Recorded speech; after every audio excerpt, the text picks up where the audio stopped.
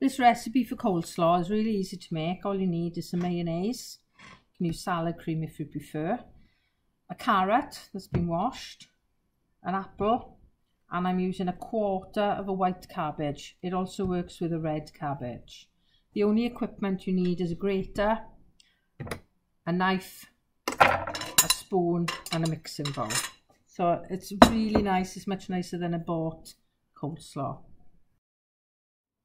We're going to start by shredding the white cabbage. So as it's in a quarter, it's nice and stable. It's not going to move around too much. And I'm using a chef's knife because it's quite big. And all I'm going to do is cut really thin slices. And as you can see, it just falls into little pieces by itself. Now you can do this in a food processor. And then you can put a slicing blade on for this and a grating blade on carrot and the apple. But to be honest, it's so quick, you might as well just do it by hand. And there's a lot less washing up. So that will just break up, put it into your mixing bowl. If you get any pieces that don't break, you can just make a little pile and then slice them up a little bit more. So as you can see, that already gives you a nice large bowl full. Um, if you buy the whole cabbage, you can buy halves, but usually buy a whole one, quarter it and wrap up the other quarters. They keep for quite a while in the fridge.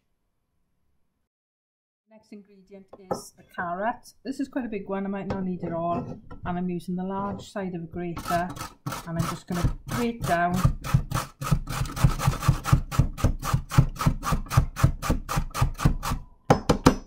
and all those nice shredded pieces will go in with the cabbage. So I've used most of the carrot, eh? not quite all of it. It's surprising how big a pile you get when you grate it. And that's all going to go in my bowl. So the next thing I'm going to do is to grate the apple. I'm not going to peel it. And I'm going to work on one side at a time. So holding your grater steadily and just keep grating until you can see the core and then move to another side. This adds a nice sweetness as well as a juicy texture. You can put onion into your coleslaw. I think it's a little bit harsh to have strong raw onion in there. Chopped up spring onions is quite nice, but I like it just for these three ingredients. So just keep going and you get quite a pile. That was a really small apple, but you've still got quite a pile once you've grated it. So that's going to go in.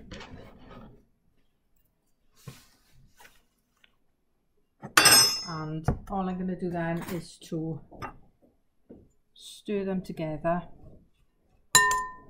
And once you've combined them, I'm going to start adding the sauce, the mayo, the salad cream, whatever you want to use. You can also do a really healthy one with natural yogurt or creme fraiche. Just going to squeeze the mayonnaise on top. It's up to you how much you use. Start off with a couple of tablespoons and then mix it through. You might need to swap to a knife uh, fork at this point to make it a bit easier to stir through. Depends on how big your bowl is and when you're happy with the amount of mayonnaise just put it in the fridge and you're done.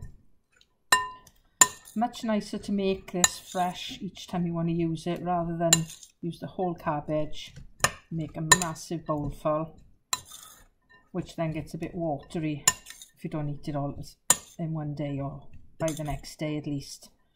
So that's how you make a really nice coleslaw, nice and fresh each time you want it.